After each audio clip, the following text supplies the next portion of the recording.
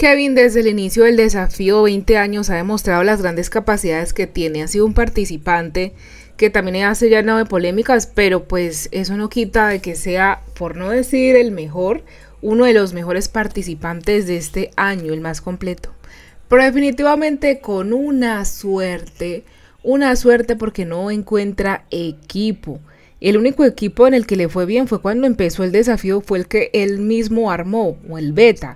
Luego de que ese beta se acabó y que lo sacaron para otro equipo, Kevin no ha tenido suerte. Cuando ha estado en alfa le ha ido mal. Cuando ha estado mm, otra vez en el nuevo beta que hubo también le fue mal. Realmente se ha sentido solo, no ha tenido equipo.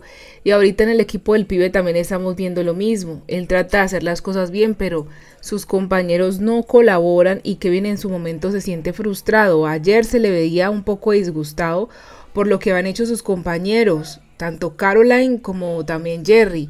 Pero Santi, como es el capitán, intervino que hay que disfrutarse esto, que hay que gozárselo, pero no es que están perdiendo y es la verdad.